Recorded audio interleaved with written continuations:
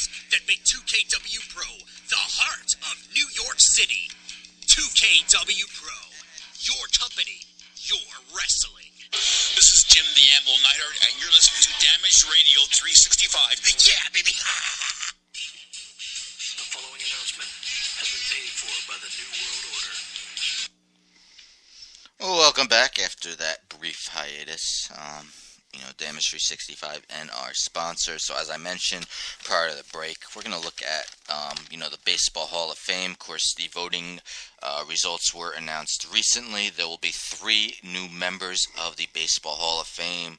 Uh, congratulations to Jeff Bagwell Ivan Rodriguez, and on his last opportunity on the ballot, Tim Rock Raines finally was inducted into the Hall of Fame. Three new members, um, you know, all pretty deserving, I must say. Um, you know, a little surprised that Pudge got on on the first ballot. Um, you know, there was always, you know, the slight rumor, uh, you know, that maybe he's was using PEDs and you know the same thing really was going on with Mike Piazza. Uh, you know they actually um, the rumor was that he had bacne, and you know people some people assumed that meant he was using PEDs. Uh, I believe he didn't get on into the Hall of Fame until his third try. Uh, but you know, you look at Pudge Rodriguez's numbers, uh, the massive amount of Gold Gloves he won. Uh, you know, it's no doubt that he played like a Hall of Famer. Uh, you know, Bagwell was one of the elite first basemen, and Rock Raines, Tim Raines. Um, you know, seen by some as the second best leadoff hitter in Major League history, only behind Rickey Henderson. Uh, you know, so a very good class uh, coming in. Uh, you know, congratulations to the three of them, three newest members of Major League Baseball's Hall of Fame in Cooperstown, New York. Um, you know, what I want to do today, though, is take a look at some of the guys who will be on the ballot for the first time next year. Um, you know, do some of these guys deserve to be in the Hall of Fame? I'm going to talk about mm, about seven of them, and you know, they're the seven guys who I believe would have the greatest likelihood of getting in. I mean, there's other guys who are going to be on the ballot for the first time. Uh, apologies to guys like Carlos Zambrano and Carlos Lee. Uh, you know, there's a few others. Definitely have had very good, solid careers, but you know, probably would have a tough time lasting more than one ballot. I believe if you get uh, 5% or less of the vote, uh, you are taken off the ballot. Of course, you need 75% to be elected. Uh, you know, so I'm going to talk about seven guys, and I'm going to start, um, you know, by the least likely um, to most likely to get in. I believe two of these guys are sure fire Hall of Famers. Um, these other guys definitely questionable. Um, you know, one or two of them may get in eventually, um, but you know, hard to tell. Um, you know, let's start off with um, Johnny Damon. Uh, Johnny Damon, longtime Red Sox Yankee, started his career with the Royals. He played 18 seasons, had 2,769 2,769 career hits, 54th all time, 1,668 career runs, 32nd all time, 1,139 RBIs, 235 home runs. Uh, his 522 doubles are 48th all time. His 408 stolen bases are 67th all time. Uh, he has career slashes of a 284 batting average, 352 on base percentage, and 453 slugging. Um, reasons why I think it'll be hard for him to get in. Yes, he's won um, a couple World Series, but um, in his 18 seasons, he was only named to the All Star team twice in 2002 and 2003. He's also never finished higher than 13th in MVP voting. Um, you know, for a guy to never be considered top 10 in his league, um, you know, it's going to be kind of hard to consider that player Hall of Famer. Uh, you know, he did lead the N- AL in triples once, steals once, one once in runs, uh, 10 times had at least 100 runs, uh, including nine consecutive seasons. Three times had at least 20 homers, four times at least 30 steals, and five times batted at least 300.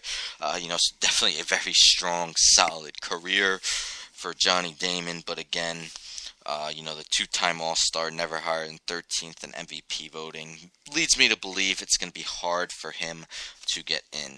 Next is a guy who, uh, you know, is seen as the best starting pitcher in baseball by many, uh, you know, for a decent amount of time. Problem is, um, you know, the longevity just wasn't there, and that's Johan Santana.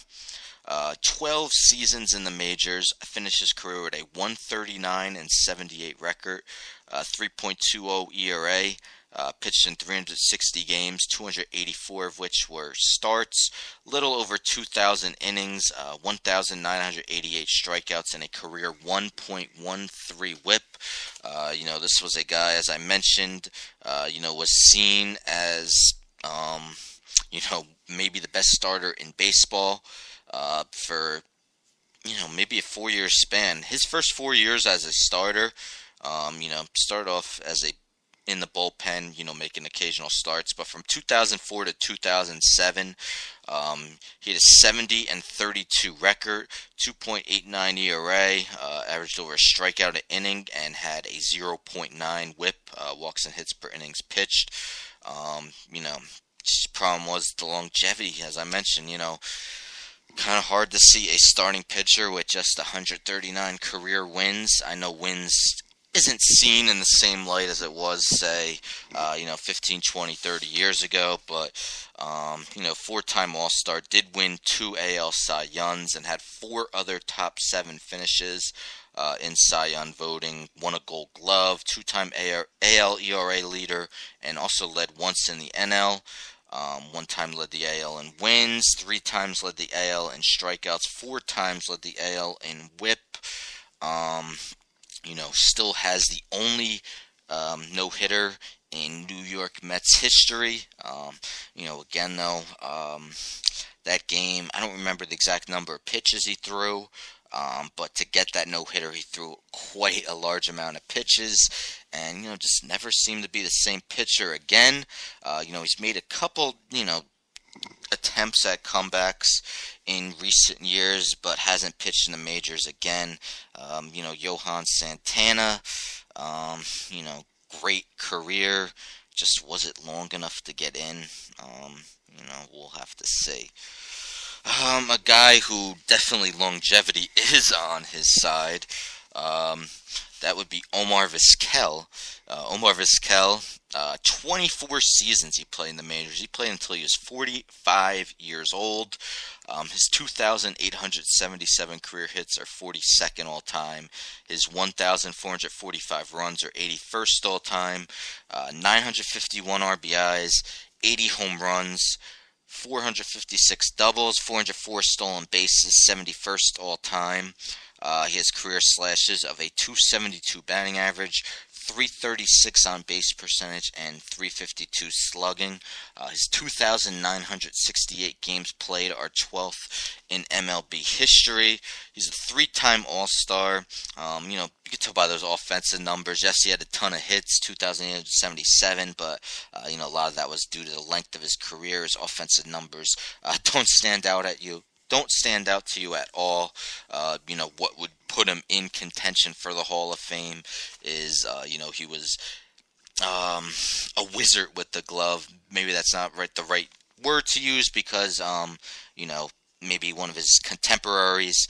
Ozzie Smith was known as the Wizard, played the same position, shortstop. Vizquel won 11 gold gloves. Uh, you know, definitely was a star out in the field.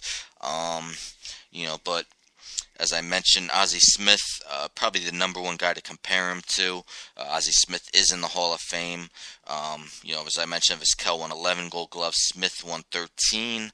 Um, you know, if you take any, um, you know, credence in defensive WAR, um, Ozzie Smith's finished with a career 43.4 defensive WAR. Uh, Vizquel was a decent amount lower at 28.4. Um, you know, so you know, not quite Ozzie Smith out in the field. Um, you know, but as I mentioned, the longevity, playing till he's 45, uh, you know, vital member of some very good teams. Um, you know, maybe the second best shortstop defensively in MLB history. Uh, you know, much like Damon, though. Um, you know, three All Stars in 24 seasons, and his highest finish in MVP voting was only 16th. Uh, in 1999, he finished 16th in AL MVP voting.